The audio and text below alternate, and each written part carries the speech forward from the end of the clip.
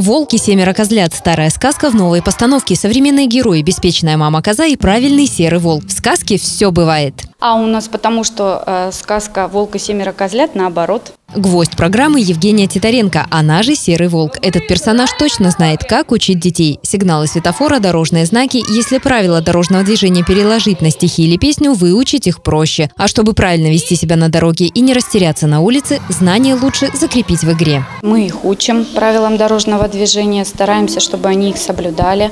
И проводим и подвижные игры, и развивающие игры настольные у нас есть по правилам дорожного движения, и знак, знание знаков проверяем.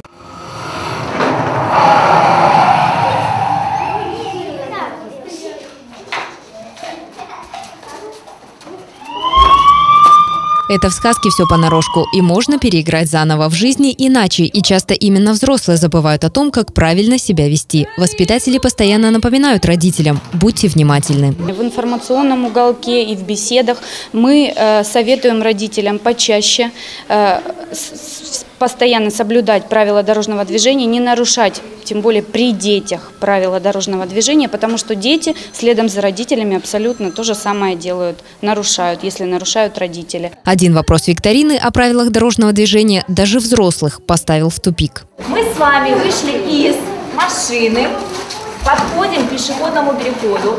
И что мы, машину вот так вот обходим? Или же сзади? Правильный ответ подсказала инспектор роты ДПС Марина Потемкина. Надо подождать, пока автомобиль уедет, и перейти дорогу по пешеходному переходу. Вообще наши дети уже с трех лет знают светофор, знают зеленый, желтый, красный, знают сигналы светофора. Это уже вот с трех лет они уже могут ответить. Мне рассказали о правилах движения мама, папа и в детском саду. Нам сегодня Серый Волк рассказал правила дорожного движения. Нам Волк рассказывал про дорожные знаки. Еще один приятный сюрприз для малышей – подарки от сотрудников роты ДПС. Нарядные светоотражающие смайлики. Наталья Пухальская, Алексей Мухортов, Игорь Куршаков. Анапа регион.